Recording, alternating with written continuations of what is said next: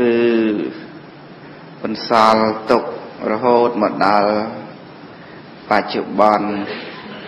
ដោយមិនបាត់ទៅណាទេគឺនៅទាំងអស់នៅព្រះពុទ្ធរិកាទាំងអស់នឹងក្រនតែមានពាក្យទូមានព្រានប្រដៅរបស់ ព្រះសម្មាសម្ពុទ្ធមួយចំនួនក៏ហួសវិស័យ នឹងយើងស្ដាប់បានតែយើងស្ដាប់លែងកើតដោយសារតែពាក្យនោះជ្រៅល្អិតសុខុមទៅឬក៏ស្ដាប់បានដែរបានតែវិញ្ញូជន ជនអ្នកមានប្រាជ្ញាមួយចំនួន ដល់អ្នកបញ្ញាទុនខ្ចីនោះគឺស្ដាប់មិនបានទេ ដូច្នេះព្រះពុទ្ធរិកាទាំងអស់មានព្រះពុទ្ធវចនៈខ្លះក៏មានអត្ថន័យជ្រាលជ្រៅរហូតដល់យើងយល់លែងបានក៏មានណាកន្លែងខ្លះក៏អាចយល់បាននឹងដូចជានៅក្នុងព្រះអភិធម្មគឺកាន់តែលែងមានអ្នកយល់ហើយសម័យបច្ចុប្បន្ន អ្នកយល់នៅក្នុងព្រះអភិធម្មនឹងតិចតួចមិនច្រើនទេប្រសូតដតីដតីក៏អាចយល់បានមួយចំនួនចឹងទៅដោយឡែកប្រសូតតតតងជាមួយនឹងកិច្ចបដិបត្តិដូចជាសតបដ្ឋានសូត្រក៏លំបាកយល់ណា នេះក៏បញ្ជាក់ឲ្យឃើញថាសម័យនេះគឺអ្នកមាននិស័យក្នុងព្រះធម៌នឹងកាន់តែតិចទៅតិចទៅណាព្រោះហេតុដូច្នេះហើយបានជាធ្វើឲ្យព្រះសាសនានឹងចេះតែសាបរលាបទៅរហូតដល់គ្រប់5000ព្រះវស្សានឹងលែងអ្នកមានត្រត្រង់ចាំនៅ ព្រះពុទ្ធដីកាសំបីមួយបាទមួយគៀតថាលែងមានសោះរឿងគឺកើតមកអំពីអត់មានអ្នកយល់បណ្ដើបណ្ដើរៀងរហូតទៅនឹងឯងព្រោះព្រះធម៌ទាំងអស់នេះ ជាធម៌របស់ព្រះអរិយៈណាជាធម៌របស់អ្នកនឿយណាយចកាម ជាធម៌របស់អ្នកសន្តោស ជាធម៌របស់អ្នកមានមេត្តាអ្នកមានករុណាហើយតទៅទៀតសពសត្វដែលសម្បូរទៅដោយបាបអកុសលសម្បូរទៅដោយកិលេសអន្តិលសៅមកងាយបានយល់ទេនៅសច្ចធម៌នឹងដូចជាទុក្ខអរិយសច្ចៈទុក្ខសមុទយៈទុក្ខនិរោធ ទុក្ខនិរោធគាមនីបដិបទាគឺចតុរារិយសច្ចៈនឹងមិនងាយបានយល់បានដឹងទេពីព្រោះជាសភាវៈដែលជ្រៅល្អិតសុខុមណាស់ត្រូវការបញ្ញាទើបអាចជ្រាបដឹងបានបើមិនមានបញ្ញាទេ គឺមិនអាចទៅដឹងសភាវៈក៏ដូចជាស្គាល់នៅលក្ខណៈ ដែលជាសាមញ្ញលក្ខណៈនៃធម៌ទាំងឡាយទាំងពួងនឹងទៅបានទេដូច្នេះគឺតកតងជាមួយនឹងឧបនិស្ស័យអធិស្រ័យដែលធ្លាប់សន្សំមកពីអតីតជាតិបណ្ណាបណ្ណាក៏យល់បានប៉ុណ្ណឹងទៅមិនមានអ្នកណាអាចទៅបង្ខំឬក៏ទៅធ្វើឲ្យយល់ច្រើនតែម្ដងនោះទេ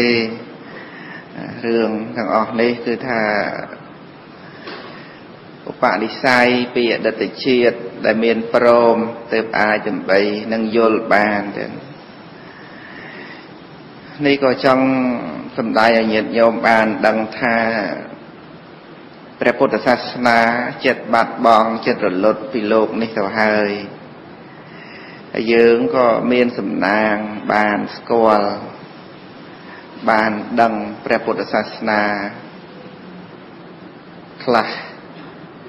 នេះជាលៀបជាសំណាងរបស់យើងហើយពហើយដូចជាព្រះពុទ្ធដីកាទាំងអស់នៅក្នុងគម្ពីរបត្រៃបេដកយើងអានមើលទៅជួបសិតតែពុទ្ធដីកាទាំងព្រះអង្គសម្ដែងមានកន្លែងខ្លះស្រាប់អត់យល់ទេដោយសារតែយើងខ្វះឥស័យខ្វះបញ្ញា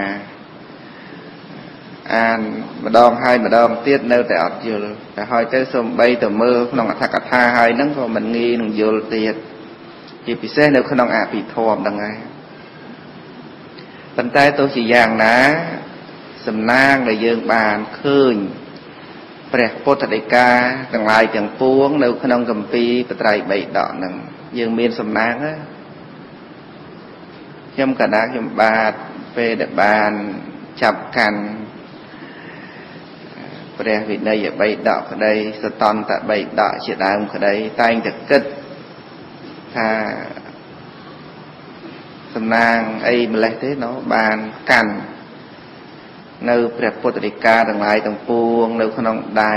ហើយបានអានមើលនឹងចឹងទៅក៏គិតថាញាតិញោមទាំងអស់គ្នាក៏មានលៀបមានសំណាងសម្បើមណាស់ តែបានស្ដាប់ពធក៏ដូចជាបានអាននៅគម្ពីរព្រះត្រៃបិដកខ្លះអានបានមួយចប់ខ្លះពីរចប់អានបានពីរដងអីទៅអញ្ចឹងទៅណាតែចំពោះខ្ញុំកាលណាខ្ញុំបាទនេះមិនបានយល់អីទាំងអស់នៅក្នុងព្រះពុទ្ធដីកាទេប៉ុន្តែគ្រាន់តែកោតសរសើរបុណ្យដែល ថាមិនបានតន់ប្រពុតជាម្ចាស់ត្រង់គង់ធរមានក៏ពិតមែនក៏ប៉ុន្តែពាក្យពេចទាំងឡាយទាំងពួងរបស់ព្រះអង្គអត់តន់បាត់យើងចង់មើលកន្លែងណារឿងរ៉ាវព្រះអង្គទ្រង់ជួបនឹងបុគ្គលណាហើយទ្រង់សម្ដែងជាមួយនឹងអ្នកណាព្រះអង្គទ្រង់បានសម្ដែងប្រាប់យ៉ាងណាយ៉ាងណា ដូចជាមុននេះខ្ញុំកណ្ដាលខ្ញុំបាទបានមើលនៅក្នុងគម្ពីរសង្យុត្តនិកាយទាំងមហានាមសក្យបុត្រដែលត្រូវជាបងរបស់ព្រះអនុរុទ្ធនោះចូលកលព្រះអង្គហើយបាននិយាយរៀបរាប់អំពីការភ័យខ្លាច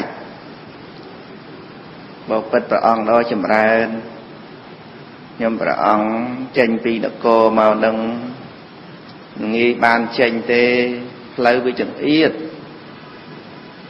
ណាតម្រៃរត់ណាសេះនោះវារត់ណាមានមនុស្សមានកម្លាំងកំពុងតែរត់ពេញផ្លូវចឹងផ្លូវវាចង្អៀតហើយខ្លាចគ្រោះថ្នាក់ ដល់ថ្នាក់ស្លាប់ឃើញទេផ្ទះចរាចរណ៍ដែរសម័យហ្នឹងហ្នឹងហើយដូចតែញាតញោមខ្លាចឡានបុកម៉ូតូប៉ះអីចឹងណាដូចគ្នាអញ្ចឹងហើយសម័យនោះមានដំរីមានសេះមានអីវាច្រើននៃផ្លូវចង្អៀតតូចតូចក្នុងនគរកបិលផុសហ្នឹងហើយមហានាមហ្នឹងលោកសាកសួរថា ពេលដែលដំរីរត់មកចិត្តសេះរត់មកចិត្ត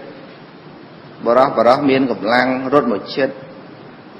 ខ្ញុំនឹងភ្លេចគុណព្រះពុទ្ធភ្លេចគុណព្រះធម៌ភ្លេចគុណព្រះសង្ឃអស់ទៅណារវល់តែភ័យព្រះអង្គហើយយ៉ាងម៉េចដែរបើស្លាប់ពេលហ្នឹងហើយធម្មតាបើសិនជាខ្ញុំនឹងបានស្ដាប់មកហើយថាបើស្លាប់ទាំងមោហៈស្លាប់ទាំងភ័យខ្លាចអញ្ចឹងទៅទុគតិហើយ នឹងមហានាមសក្យបុត្រតាមធម្មតាលោកនឹករលឹកដល់គុណបរតនត្រ័យជានិច្ចអញ្ចឹងណាប៉ុន្តែពេលសេះដំរីវិមោចិត្តហ្នឹងវាភ័យបាត់ទៅវាបាត់គុណពុទ្ធគុណពធគុណប្រសងបាត់ទៅតែដូចញាតិញោមទាំងអស់គ្នាពេលភ័យមានគុណពុទ្ធក្នុងខ្លួនទេពេលភ័យញាតិញោមមានទេហ្នឹងពេលភ័យខ្លាំងភ័យទាំងឡានភ័យទាំងម៉ូតូអីហ្នឹង ភ័យមកមកនឹកឃើញភ័យខ្លាំងមែនទែនស្លុតបដាយណាចឹងសួរព្រះអង្គថាបើសិនជាអញ្ចឹងខ្ញុំនឹងទៅកាន់ទុគតិហើយបើស្លាប់ក្នុងពេលភ័យនឹងអញ្ចឹងព្រះអង្គបានព្រះអង្គទ្រង់សម្ដែងដល់មហានាមនឹងថា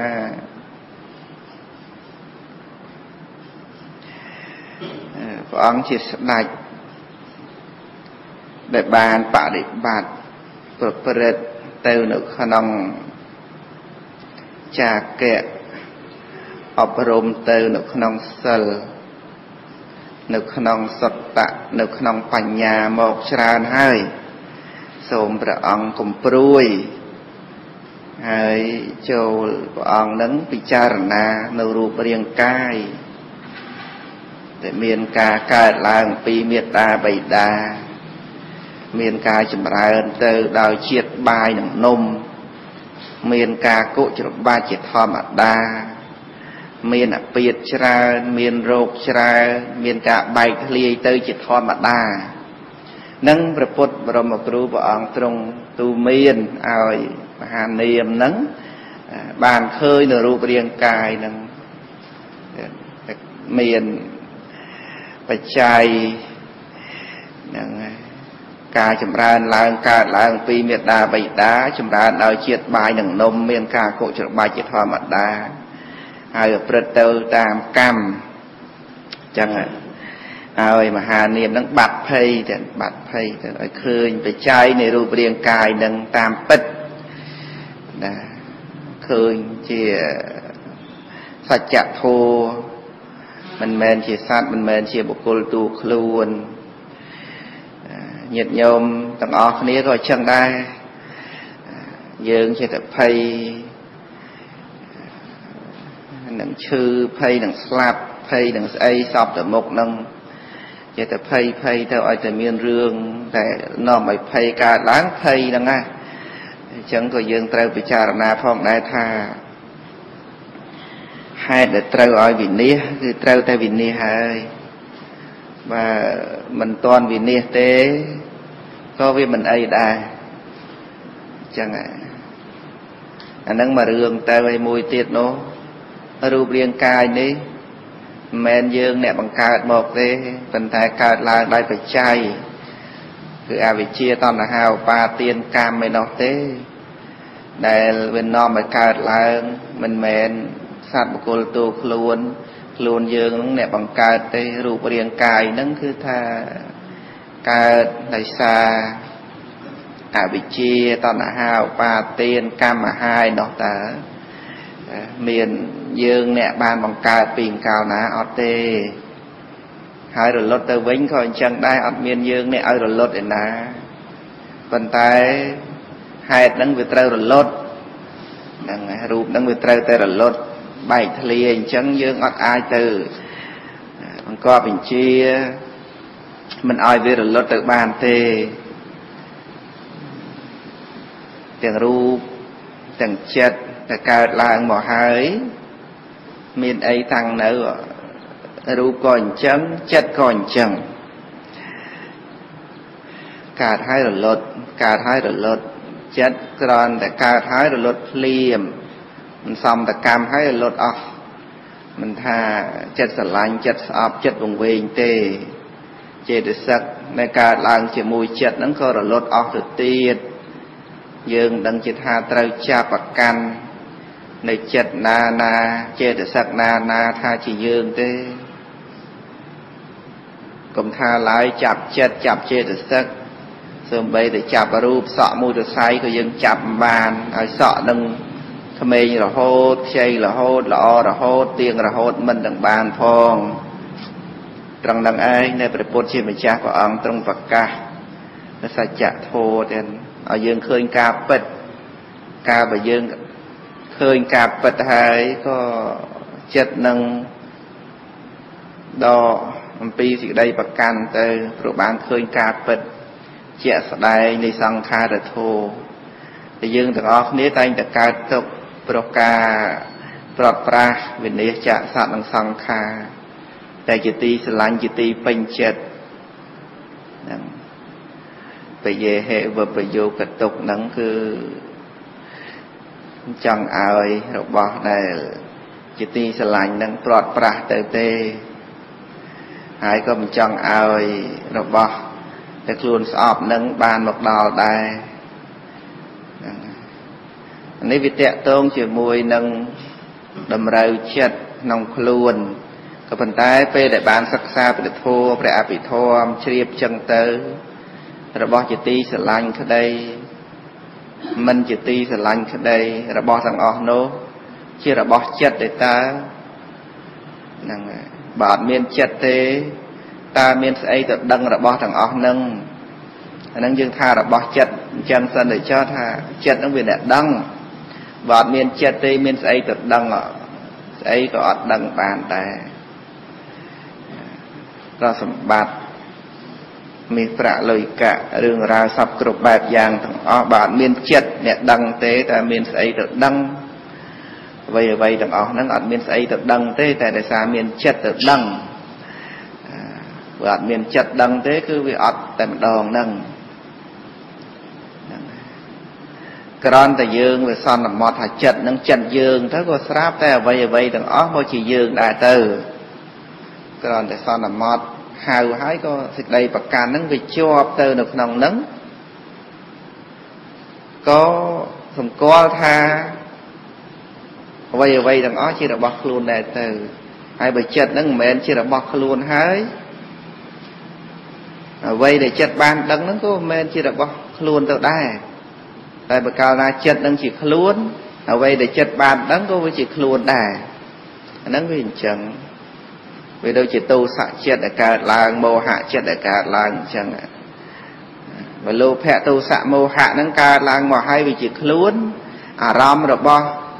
លោភៈទោសៈមោហៈហ្នឹងក៏ខ្លួនអ្នកដឹងដែរខ្លួនអ្នកត្រូវការខ្លួនអ្នកស្អប់ខ្លួនអ្នកវង្វេងដែរក៏ប៉ុន្តែនៅពេលដែលវិបស្សនាកើតឡើងអារម្មណ៍ទាំងឡាយទាំងពួងនោះព្រមទាំងចិត្ត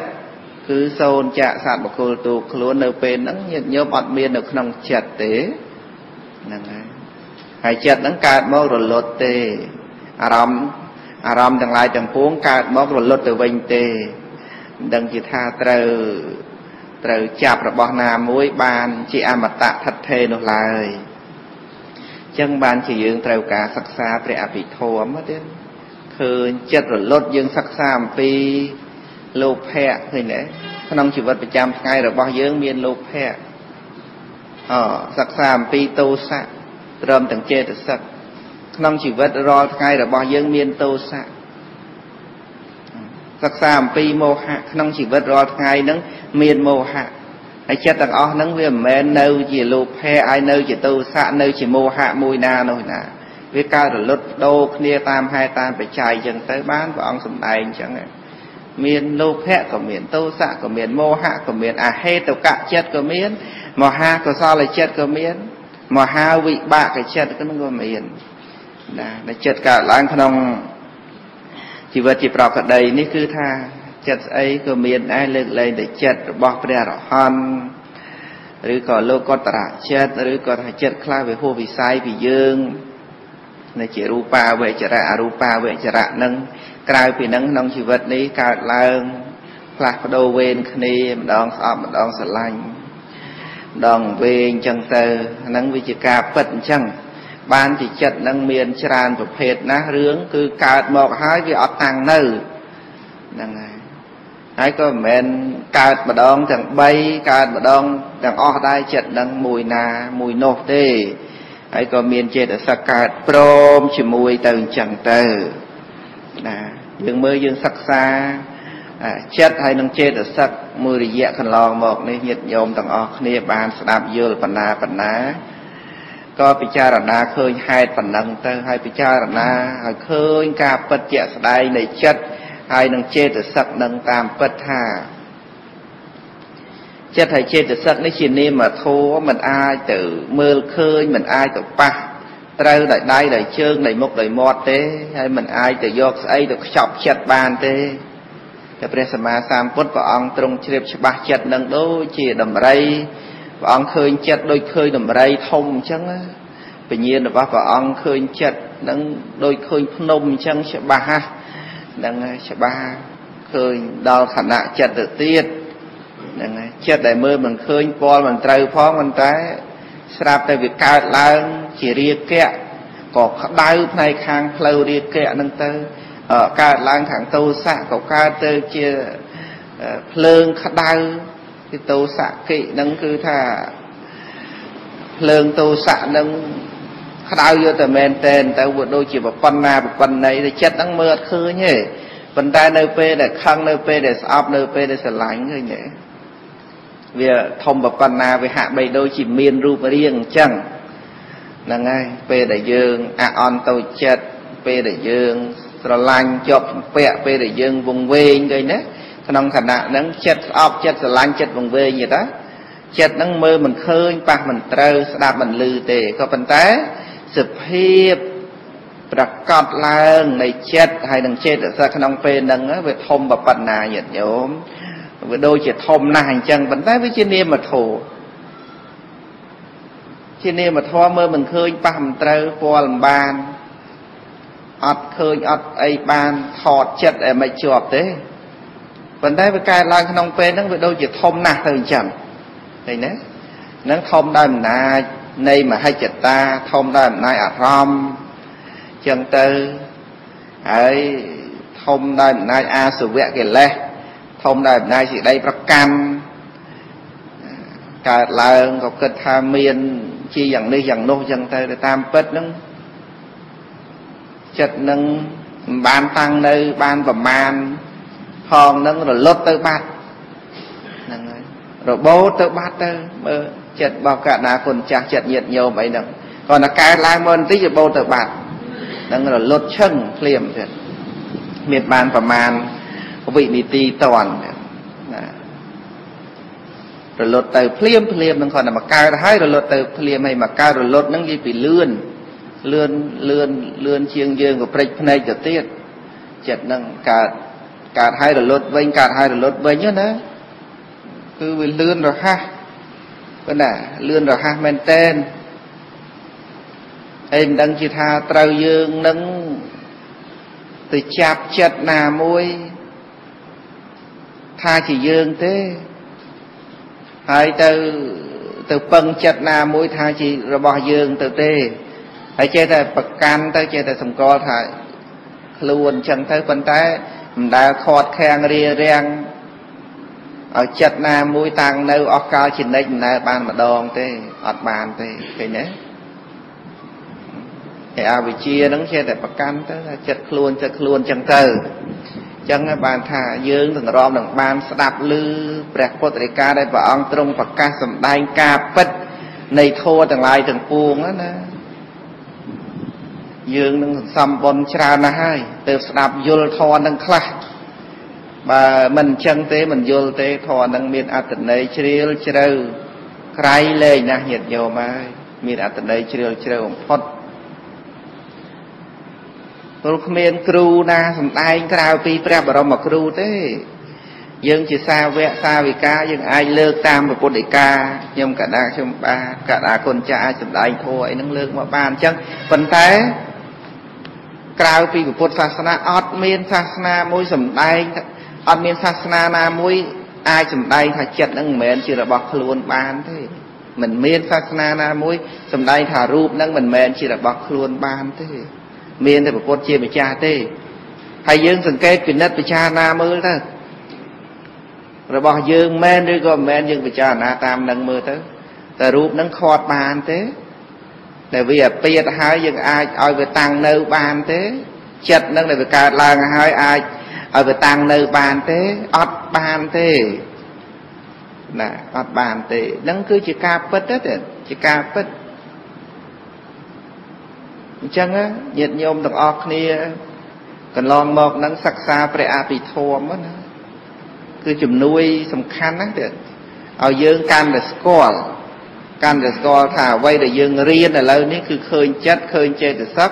ហើយឃើញថាសភាវៈហ្នឹងកើតរលត់អត់មានតាំងនៅ គឺកើតរលត់កើតរលត់ទេរបស់កើតរលត់របស់កើតរលត់តើយើងទីពឹងដូចម្ដេច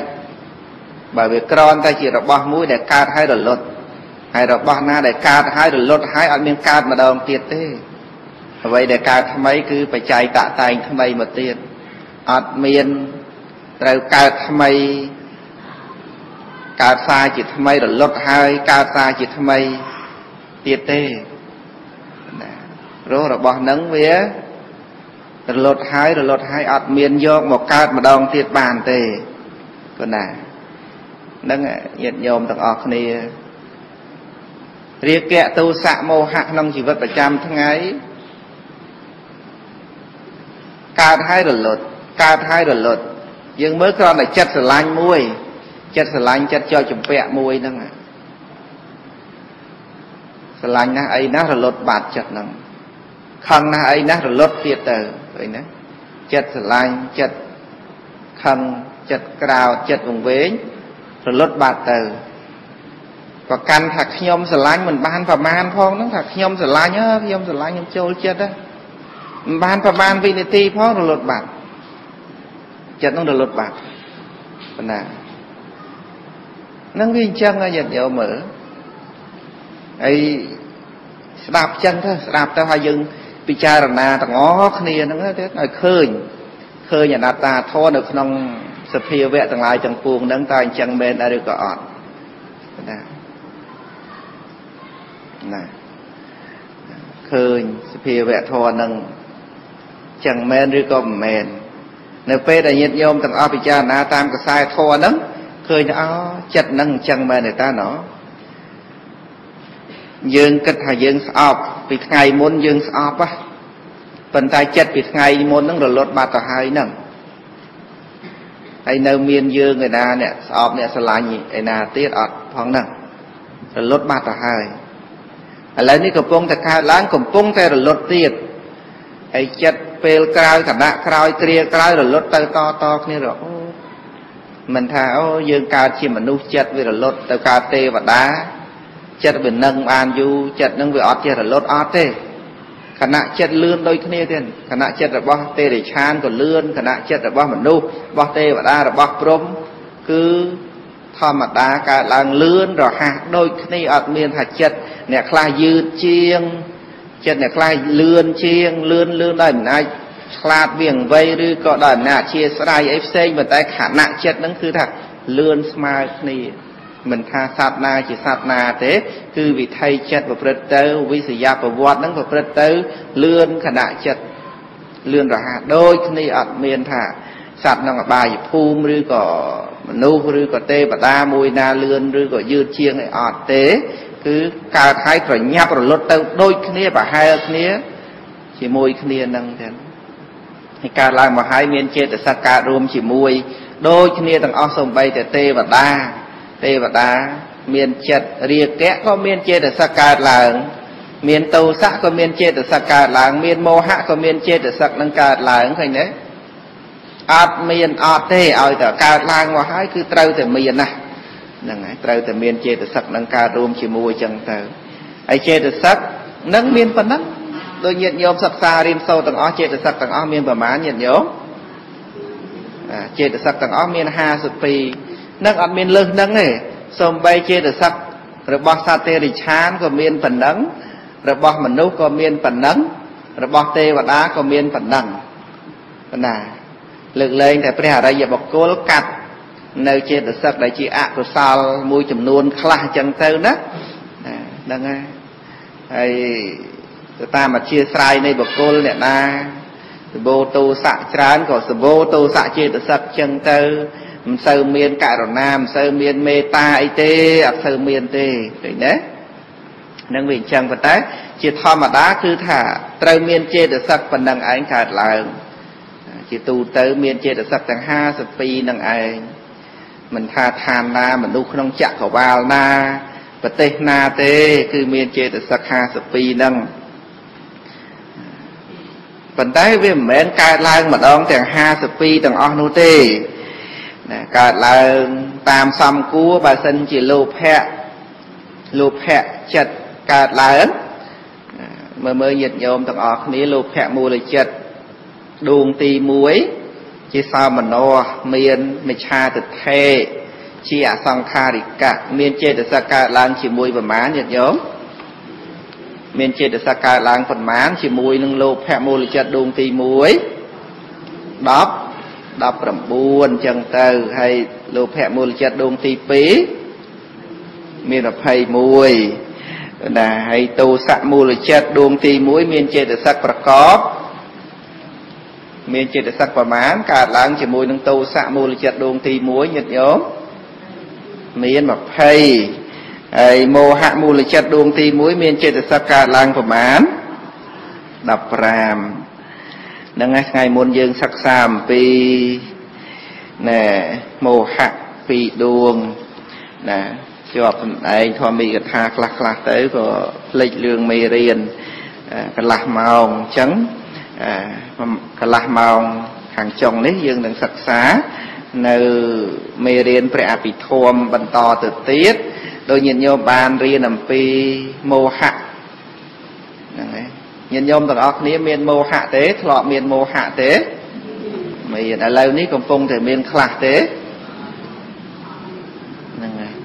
ការពិតទៅមោហៈនឹងវាកើតជាចន្លោះដែរញាតិញោមមិនមែនថាអូឲ្យតែអញ្ជើញមកអង្គុយមកស្ដាប់ធម៌អញ្ចឹងអត់មានមោហៈអត់ទេចឹងកាលវែងមកផ្លែតនឹងញាតិញោមចឹងមែនអត់នឹងអាខ្លួនអង្គុយជានៅនឹងភ្នែកបើក កលែតឡែតតែវែងទៅណាបាត់ចឹងមែនអត់ហ្នឹងហើយមោហៈហ្នឹងវាកើតឡើងជាប្រកដីអញ្ចឹងធ្វើម៉េចវាកើតឡើងកើតឡើងជាធម្មតាមកអញ្ចឹង